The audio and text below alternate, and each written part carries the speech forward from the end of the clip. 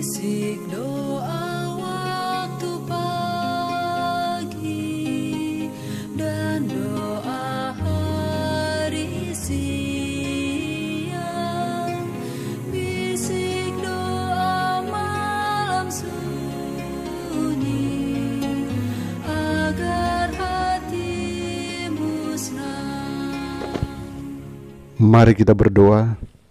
Bapa di sorga dikuduskanlah namamu karena penyertaanmu yang nyata di tengah-tengah kami. Kami boleh ada saat ini oleh karena kasihmu yang sungguh ajaib.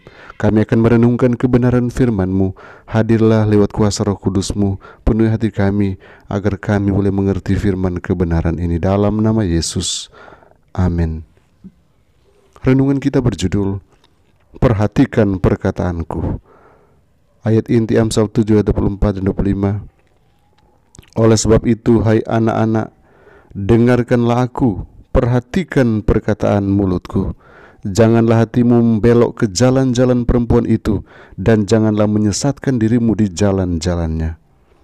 Saudaraku, kegembiraan juru selamat ialah mengangkat dan menebus manusia yang sudah jatuh ke dalam dosa. Karena inilah dia tidak mempedulikan nyawanya, melainkan memikul salib tanpa mengindahkan malu Demikian pula para malaikat turut bekerja demi kebahagiaan orang-orang lain. Inilah kegembiraan mereka. Apa yang dianggap orang hanya mementingkan dirinya saja sebagai pekerjaan yang hina, melayani orang-orang yang hina dina adalah pekerjaan para malaikat yang tidak berdosa itu. Roh kasih pengorbanan diri Kristus sendiri adalah roh yang mengisi sorga dan menjadi inti kebahagiaan. Inilah roh yang akan dimiliki pengikut-pengikut Kristus. Inilah pekerjaan yang akan mereka kerjakan. Apabila kasih Kristus tersimpan di dalam hati, bagi aroma yang harum, maka itu tidak akan dapat tersembunyikan. Pengaruh yang suci akan dapat dirasakan semua orang yang bergaul dengan kita. Roh Kristus yang ada dalam hati bagaikan sebuah mata air di padang belantara yang mengalir untuk menyegarkan segalanya dan membuat orang-orang yang hampir mati jadi rindu meminum air kehidupan itu. Kehendak manusia yang tidak dibantu itu tak akan memiliki kuasa yang nyata untuk menolak dan mengalahkan kejahatan. Pertahanan jiwa sudah dipatahkan. Manusia tidak mempunyai perlindungan terhadap dosa. Sekali ketahanan firman Allah dan rohnya ditolak, kita tidak tahu sampai sedalam mana seseorang bisa tenggelam. Kalau kita mau belajar tentang Kristus, kita harus berdoa sebagaimana para rasul berdoa pada waktu Roh Kudus dicurahkan ke atas mereka. Kita memerlukan baptisan Roh Allah.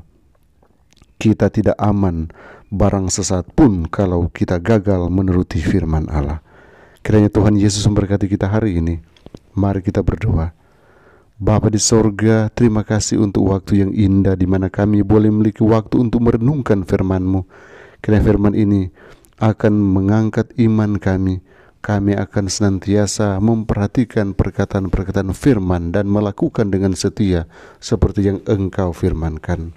Tolonglah Tuhan agar hari ini kami mampu berkarya bagimu, melakukan kewajiban kami, melakukan semua tugas-tugas kami dengan baik, dengan pertolongan sorga dan ada berkat yang terus mengalir di dalam perjalanan iman kami.